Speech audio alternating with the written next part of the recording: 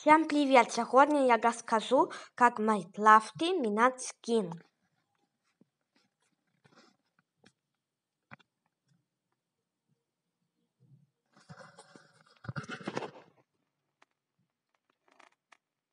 Вот такой мой скин. Мы будем сегодня его менять.